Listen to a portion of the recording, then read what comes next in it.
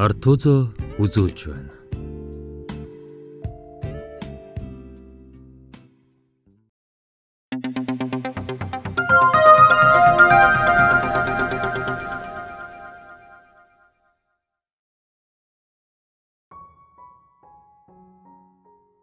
Өгүүлэг зохиогч Цэндийн байгалмаа. Амьдрал тоглоом биш. Өдөр хоног харвсан сум шиг өнгөрсөөр Должмагийн гэдэс одоо мэддэггүй болоод ирэв.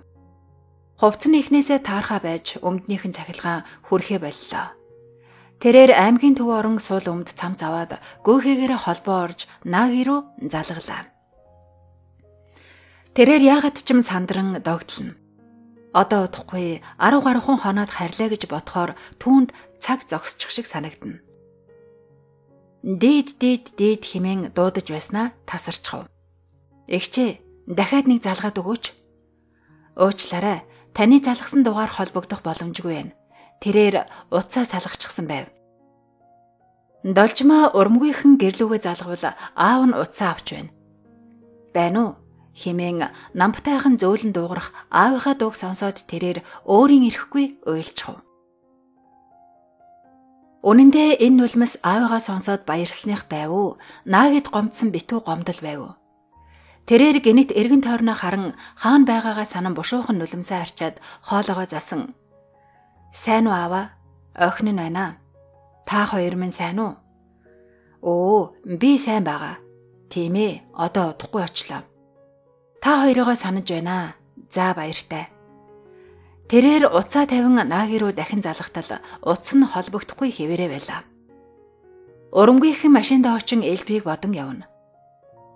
Наги яагаад уцаа салгачих вэ? Ажилд орсон болов уу? Эсвэл намайг ярихгүй байхаар гомдчихсан болов уу? Уг нь өнөөдөр чамдаа хүүгээ хөдөлснийг хэлэх гэж ямар их догдолж яарч байлаа. Би хэтэрхий түргэн ааш гаргаад байгаа юм болов? Сая аав наагийг хэлэхгүй байна. Манайхаар очихгүй байгаа юм байх та. Үгүй ямар сууж барьсан биш юу л боллоо гэж намайг эзгүйд очиж байх вдэ. Ийхүү элдв бодол дарагдан замд сэгсжүүлсээр унтчихсан байлаа. Жолооч залуу түүнийг зөөлөн татан должмаа миний дүү эрчглээ босоороо химэн сэрэв. Тэдний багийнхан буцахад 4 хоног үлдээд байлаа.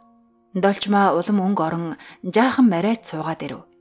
Эрднээ түүнийг анзааран "Долчмаа, миний дүү чинь хөл хүндтэй юм байна штэ. Тэгээд ингээд явж болж байгаа юм уу?" Зүгээрээ надад нэг их төвөгшөөгöd мэдэгдэх юм алга. За тийм дээ. Залуу байхад мэдгүй гүйж байтал нэг л өдөр төрөх болчихсон байдгийм. Гэхдээ сайн хоол ундаа идэж амарч байх хэрэгтэй. Ах чинь мэдж байгаа юу? Ах мэдгүй байгаа. Та битгий хэлээрэ. Одоо юу байх вэ? Дөрвөн хоноод харьлаа. Тэрээр ингэж хэлээд баярын мишэл тодруулв. Чийч их хөнгөн байна да. Хүү бололтой. Охин хүүхэд би ээжээсээ царайлаг байх ёстой гэд ээжигээ их ядраадаг. Хүү хүүхэд миний ээж бүхнээс царайлаг байх ёстой гэд хөнгөхөн байдгийм. Хээ хээ их жинхэнэ мэдгч юу аах вэ? Төрхөд чинь бөөн хүүхнүүд иймэрхүү ярианаас эхлээд нөхөр сүүдэргээд ярихгүй юм байдаггүй юм. Тэгхэд л сонсож байсан байх таа гэд тастас инeen толгоогоо хаялав. Должмаа ичингүүрэн доошоо харвал эрднэ. За миний дүү, юундаа ичдэг юм? Ийм мундаг охин хүүхдээ гаргачгаад гэрээ авгаа бололгүй. Заавал цааш нь үргэлжлүүлж сураарай. Энэ хэд чамааг яаж үнэлж байгааг харж байгаа үсттэй. Тэдний багийнхан ажиллаа дууссан тул үлдсэн 3 хоногоо хөвсгөл далайн ирэг дээр амарч Монголынхоо онгон зэлүүд газрыг үзэж сонирхохоор болов. Энэ өдрийн орой ажлын талаар ямар ч яриа болсонгүй. Бүгд сайхан дуулж хуурдан задгаа гал тойрон сууцгаан их л хөвгчлөлтэй байлаа. Должмааг магтаж сайшааж байсанд ах нь урамшин "Миний отхон дүү байгаа юм а. Намраас сургуульд явуулах санаатай. Та бүхэн тусалж дэмжинэ гэдэгт итгэж байна." Өөрөө харин гадагшаа явахгүй гээд байгаа юм. Уг нь Германд очоод бүр илүү юм үзээд сураад ирвэл өөрт нь л хэрэгтэй л дээ. Гэтэл тэндээс нэг нь заавал тэгж хүчлээд яах вэ? Өөрөө мэдж байгаа бах. Манайхан бол насанд хүрсэн л бол өөрөө өөрийнхөө амьдралыг зохицуулаад явдаг. Харин сая 2 сар танай эн сайхан хөдөө нутагт ажиллаж амарч их эрч хүчтэй, энергитэй боллоо. Та бүхэнд маш их баярлалаа. Хамтран ажиллахад урамтай сайхан байлаа. Бид нар ч гэсэн тэр холоос сэтгэл зүрхээ гарган ирж нэг баг болон Монголын минь хөгжилд багханжуулах хувь нэмэр оруулах үйлс хийж буйд гүнээ талархаж байна. Өө тэр мэдээж. Манай долчмаа ч мундаг охин доо. Анх эрэхтэй хөөхөн туранхай охин байсан чинь одоо махмараа суугаад царайн шингрээд энэ ус агаар зохилцсны хуу химэн асуув. Долчмаа яриа буруу тийшээ эргэж байгаад баахан зовнон уучлал гуйгаад унтахаар явлаа. Түүнд яагаад ч юм бэ жирэмсэн гэдгийг нь бүгд мэдсэн юм шиг санагдахад айх ичих зэрэгцэн гэцэн дээрээ гараа тавьбал бяцхан үрн хөөрөн аав дээрээ удахгүй очиндоо химэн баярлаж буй мэт хөдөлж өгч байлаа. Тэрээр өрмийн одоохон 3 хоногийн дараа хоёулаа аав дээрээ очлоо гэд унтахаар хужлагаа засав. Өглөө должмаа үүр хаярахтай зэрэгцэн сэрвэл бүгд нам унтаж байлаа. Тэрээр дулаан хувцлан далайн эргээр жаахан алхахаар гарав. Гадаа сэрүү татан далайн урсгал хоржигнон нин тааламжтай. Должмаа амьдралаа сайхнаар төсөөлөн энэд цацруулан алхасаар. Тэрээр хүүгээ том болохоор гуруула заавал ойрхон ч хамаагүй салхинд гарч байна. Бас амралтын өдрөө дандаа хамтдаа гэртээ өнгөрүүлж байна. Наагийн минь чи намаага санаж байгаа тийм ээ? Би ч гэсэн чамаага ямар их санаж байна. Тэрээр нэг л мэдхэд гидсээ хоёр алгаараа зөөлөн барин яв. Гэтэл тэдний буудалсан газраас нэг их холгүй бас хэсэг жуулчдын майхан харагдана. Тэрээрээ сонирхон тэр зүг харан зогсдол нэг хүн дахир дутуугийн тэрэгцэртээ наашлан айсвэ. Долчмооч олон юм бодлгүй өмнөөс нь гүйн очвол нүдэнд дулаахан сайхан инээмсгэлсэн нэгэн настайвтар шар авгаа байлаа. Должмаа түүнтэй ээлдгээр мэдлээд ойр зургийн юм ярангаа түүнийг төрөн явна. Өөрийгөө Милани хэмээн нэрлээд Америкаас энэ сайхан онгон зэлүүд байгалыг үзэхээр ирснээ хэллээ. Должмаач өөрийн хэмжээнд тайлбарлан явна. Милани салахта. Должмаа чи англиар маш сайхан цэвэрхэн ярьдаг юм байна. Бас их хөөрхөн тусч ухаалаг охин байна. Юмыг яаж мэдхв? Хизээ нэгэн цагт уулзах тавилан тохиох юм билүү? Чамд баярлалаа. Өнөөдөр би чиний ачаар маш их зүйл мэдэж авлаа. Түр хүлээгээрээ химэн хэлээд цүнхнээсээ нэрийн хуудас Сан Франциско хотын алтан гүүрний зурагта ил захидлын хамт өөрийн талархлын үгээ бичиж өгөв. Долчмаач баярлснаа хэлэн юм өгч чадаагүйдээ уучлал гуйгаад салах ясхийн явлаа. Наги туяа хоёр тэр өдрөөс хоошоо байн хамт байдаг болов. Туяа уйлан дахин хизээч ийм боломж гарахгүй. Чи намайг явтал хань болооч хэмээн гуйжээ. Наагич нэг их гуйлгаад байсангүй. Өөрөө ч гэсэн дургүй биш аж. Тэр хоёр ихэнх цагийг хамтдаа өнгөрөөнө. Амралтанд хүртэл хид хид яваад авав.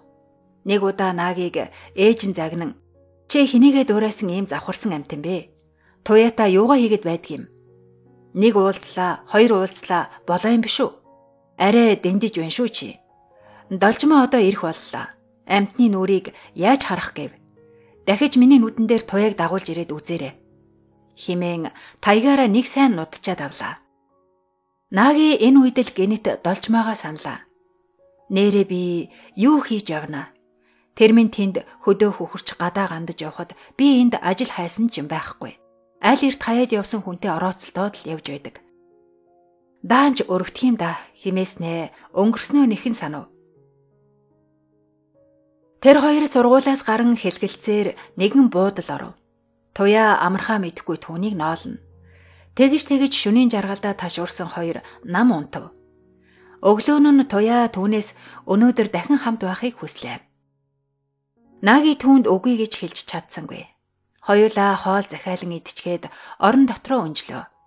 Гарч гаднаас ганц нэг шил шар айраг, нэг шил улаан вино, ойр зургийн идэж уух юм аван өрөөндөө буцан ирлээ. Хоёулаа тулган уусаар. Туяа гинэт түүний цээжийг налан эхэр татан уйллаа. Нааги сандран яасан би зүгээр үү? Нааги чи аргагүй л хүний хүн болжээ. Чи надтай нэг л хүндий байна. Одоо яах вэ? Миний заяа ийм байсан байгаа үз. Би үнэндээ Монголдо ирж амьдрахыг ямар их хүсэж байна. Наги юм ярих гэтэл туяа дууг нь хорин битгээ таслаа. Зориг орсон дээр одоо л би хэлье. Харин энэ бүхний дараа чи намайг явтал надтай хань болон хамт байж чадах уу гэдгээ шийдэрэ. Үнэн дээр би чамайг л гэж ирсэн шүү. Би нөхөртөө хайргүй, яалтчгүй, охиныг нь гаргасан. Бас намайг зовж явахад тусалсан их сайн хүн. Бас надад дэндүү хайртай болохоор нь би салж чадахгүй. Би ингээд л хувь тавилантайгаа эвлэрхээс өөр аргагүй боллоо. Харин чамтай уулзаад үнэхээр сайхан байна. Чи миний охины зургийг үзэх үү? Тэрээр төрөвчээ нээн энэ миний ганц амин эрдэндээ. Нэрийг нь би Нааны гэж дууддгийм. Чинийхээ нэрийг оруулж байгаа нь тэр. Наагийн зургийг хараад царай нь цэл хөхрөв. Түүний өмнөөс бурчхаар тасхаар үстэй, бүлтгэр алаг нүдтэй, хөөхөн инээмсгэлсэн өнгөт арьстай охин мишээж байх нь тэрэ. Чи чи туя чи нэрээ ярьж байна уу? Би юу хэлэх вдэ? Миний охин хөөхөн байгаа биз? Яг аавыгаа дүүрээсэн. Надаас миний инээмсэглэлийг авсан гэдэг юм. Тэрээр ингэж хэлээд сулхан инээмсэглэлээ. Үгүй би итгэж чадахгүй байна. Чамд өөр хүн олдоогүй гэж үү? Яасан? Хар арьст хүн хүн биш юм уу? Би чамайг ингэж хүлээж авна гэж бодож байлаа. Намайг уучлаарай. Би хайргүйч гэлээ тэр хүнээс салж чадахгүй. Наги юу ч хэлж чадсангүй. Үнэн дээр юу ч хэлэх вүлээ дээ. Тэрээр одоо бол туяаг яагаад ч юм өрөвдөх харамсах сэтгэл төрж байлаа. Гэтэл өөрөө тэр харь хүнээс ч дор загнаж должмаага мартчихсан байдаг. Би гэж яахаараа ийм тэнэг хүн байна. Дөнгөж саяхан л хайртайгээд хонон унжин санан сууж байгаагүй гэж үү? Би ийм өөдгүй худалч хууран чим гэж үү? Тэрээр өрөөнд дотоороо холхон байтал үүднийх нь хонх дууграв. Наагийн очин үүдэ тайлтал туяа инээмсгэлсээр орж ирээд гарч юм үзэхүү гэснээ сайн байна уу адьягч химээ мэндэлвэл хариу өгөхгүйд жаахан гайхан наагийн руу харвал тэр ч гэсэн дүнсгэр харагдана. Тэр хоёр тэгсгээд гэрээс гарan туяа сая нэг амнын Адьягч ууралж байна уу? Зүгээрээ бит хоёр жаахан ам зөрөөд. Аа. Ингээд л чамтайгаа явах ямар сайхан юм бэ? Гээд жаахан охин шиг хөөрцөглөн түүнийг сугадан авлаа. Наагийн хариуд нь энэмсгэлсэн боловч дотроо должмааг л бодон явна. Туяа юм ярин түүндээ өөрөө баясан инээж Наагийн хариуд нь ганц нэг үгээр хариулан дагаж энэмэр болж явна. Тэр хоёр унаан цуухаар буудлал руу алхангаа ийхүү хөгжилдөн дэлгүүрийн хажуугаар гартал должмагийн аавта халц тулчихв.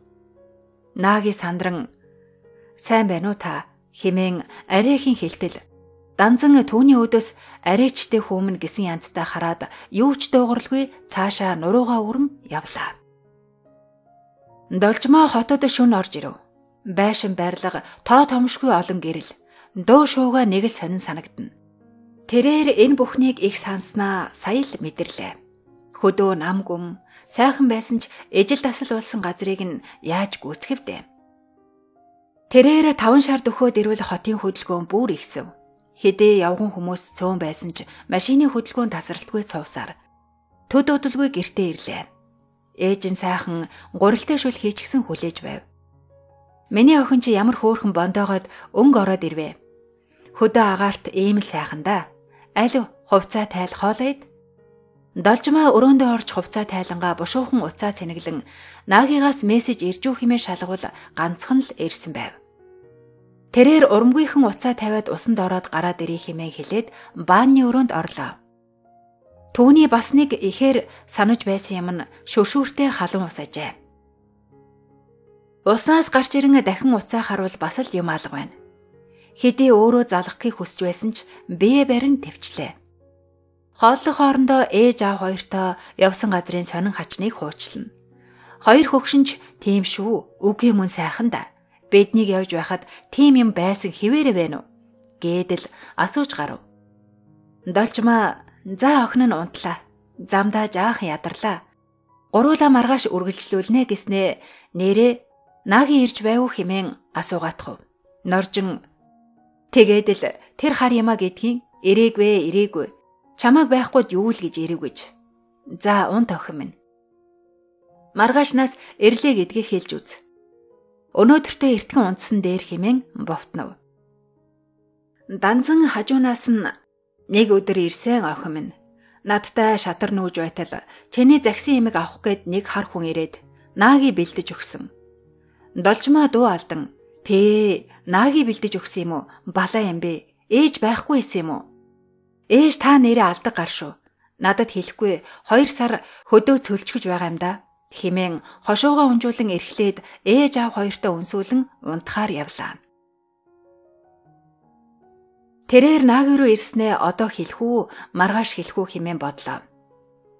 Уг нь эренгүүтээ яриараа гэд мессеж үлдээсэн л байна. Нэрэж утас болохгүй байхад юу л гэж бичээд байв гэж хэмээн өмөрөнгүй бодоод өглөө болъё. Одоо их ядарч байна. Унтах минь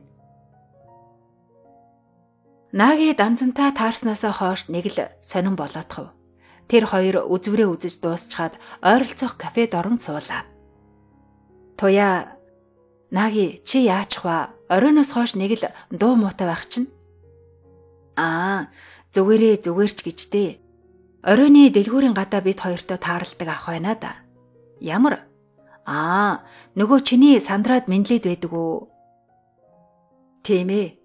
Тэр хүн манай найз охины аав нь байгаа юм. Баларсан ч юм болох гэж. Өө тийм үү. Яана намайг уучлаарай. Надаас л боллоо. Уучлаарай би чамдаа дандаа л гай болох юм да. Одоо нэгэнт өнгөрсөн.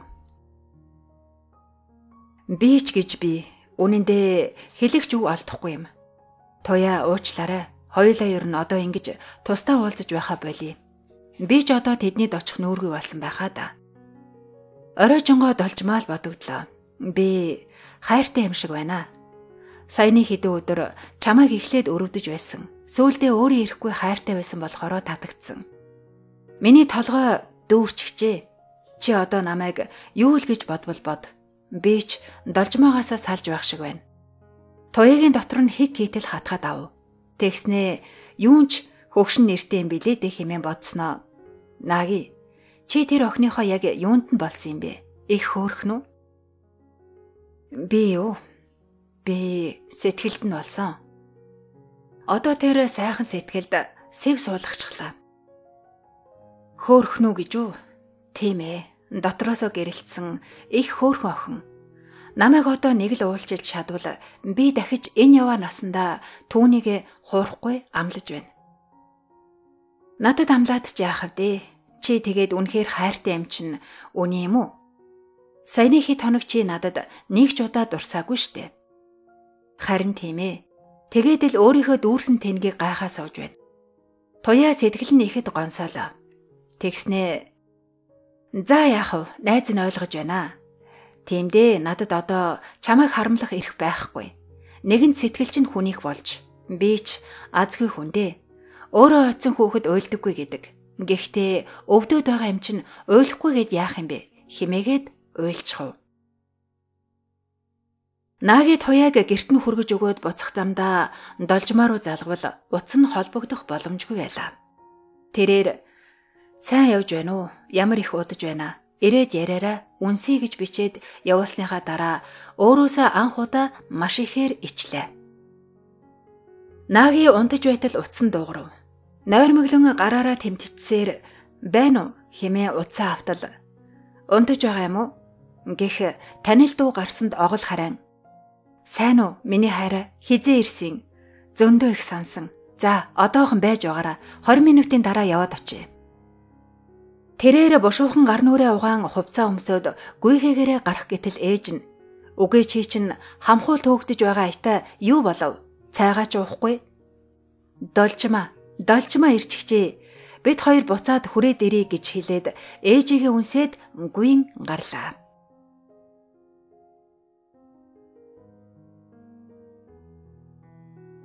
Наги должмаагийн дэдөхөх тусам алхаан удаашраад ирэв. Тэрээр яаж нүрийг нь харандаа гэхээс байж ядна. Данзан ах юм хэлсэн болов уу?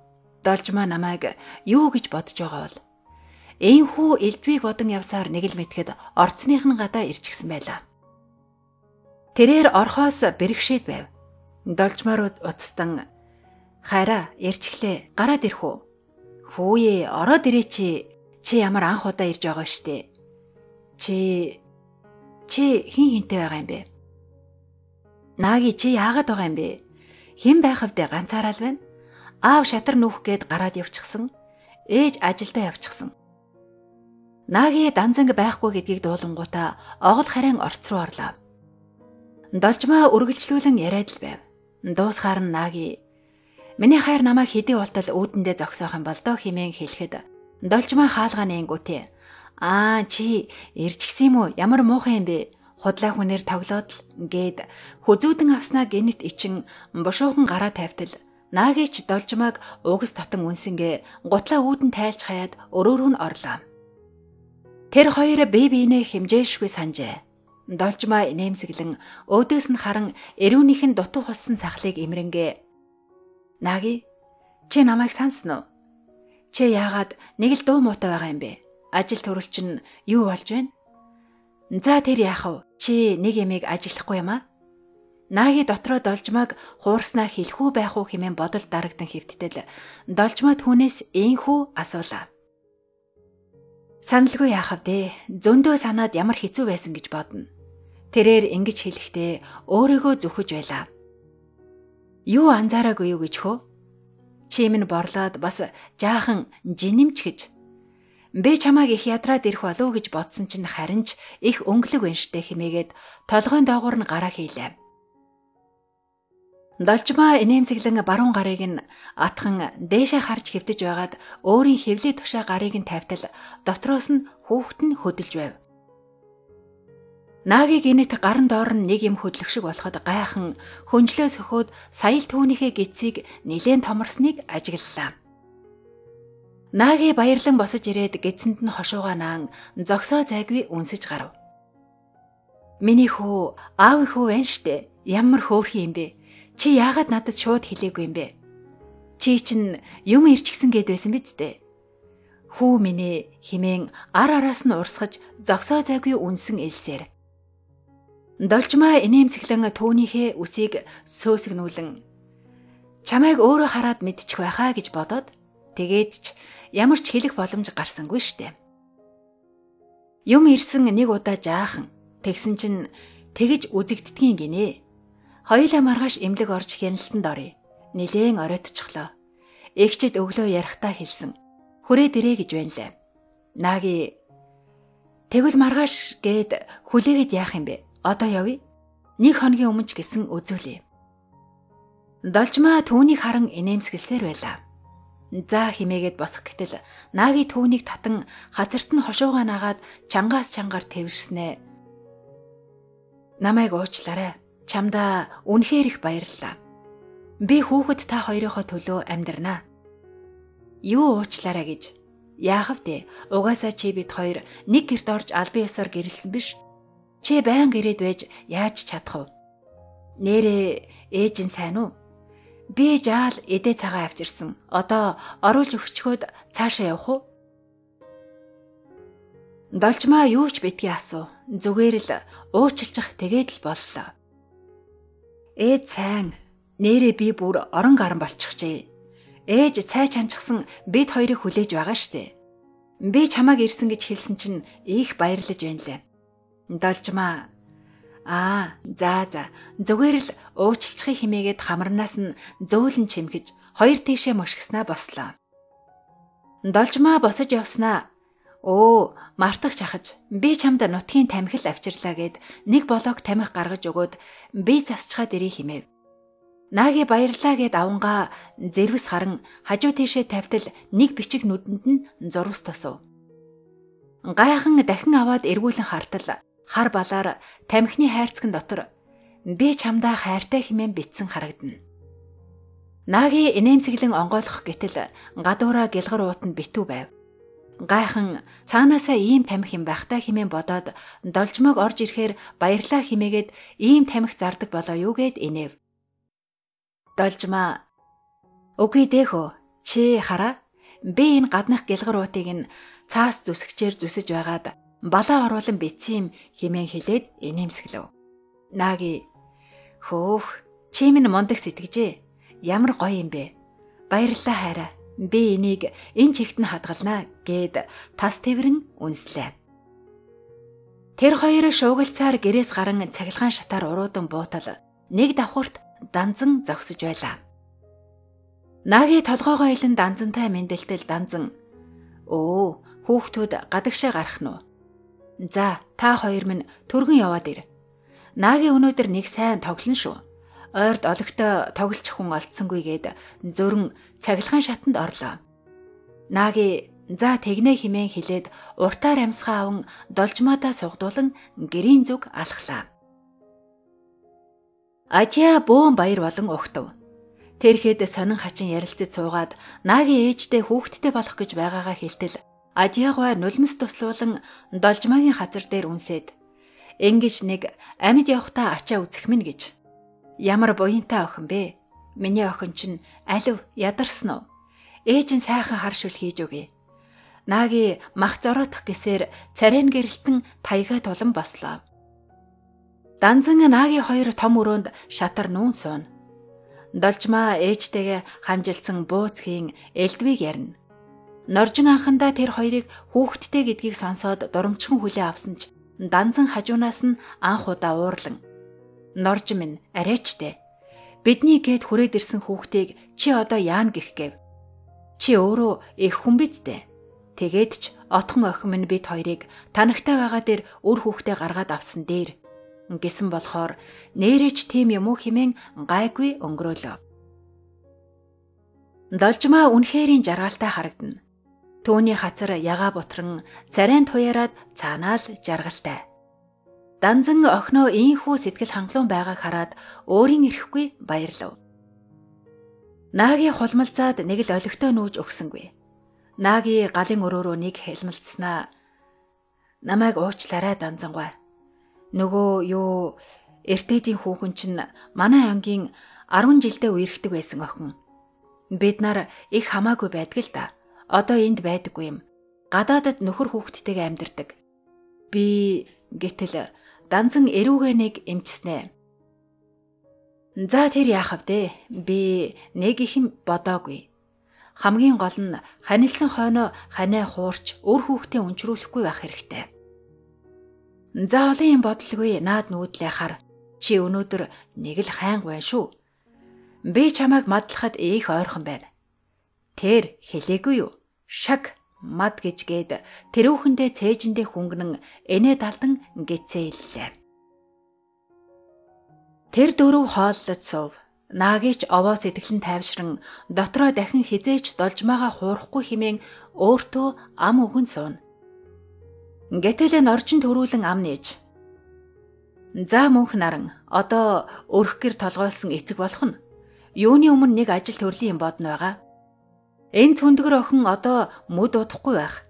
Тэгээд ч ажил хийн гэж юу байх вэ? Гэтэл должмаа хажуунаас нь ээж мэдчил байгаа штэ. Угаасаа танил тал байхгүй авахгүй байна. Хүргэн ахта та нэг яриад өгөөчтэй. Компанид нь оруулаад өгөөч тэггүй. Наги хийл үсээлэн би одоо бүр этвхтэй ажил хайнаа. Угаасаа энэ мэрэгжлэрээ олигтой юм олдохгүй юм шиг байна. Одоо ажиллал байвал юу ч хамаагүй хийн. Сайн байна. Бас хизээ бэрээ гуйж ирэх гэж байна. Бид нарч отхон охиноо ёс төртөөхөн шиг гаргаж хурим найрыг нь хийнэ гэж бодож байгаа. За, ойлголоо норж ихчээ. Би ээжид хэлье. Тэдний хооронд иймэрхүү яриа болж өнгөрснөөс нэг 7 хоногийн дараа Адя бэрээ гуйхаар нөхрийнхөө дүү хархууг явуулаад өөрөө араас нь очлоо. Тэрхэд бэрээ гуйн хурмын товооч тохиров. Наги Адиагаа хоёр уг нь бэр гуйгаад л болчих байхаа гэтэл норчин заавал хурим хийн гээд данзан ч гэсэн темирхүү аястай байхаар нь Адиа ганц хүүгээ өрөвдөн амтан ах дүүгээс болох байхаа хэмээн бодоод зөвшөөрөв. Ийхүү хурмай товлон намрын адаг сарын нэгэн бэлэгт өдөр хийхээр тохирон тэр өдрийн их ажил дууслаа. Наги хэд хоног мөнгөний эрэлт хатав.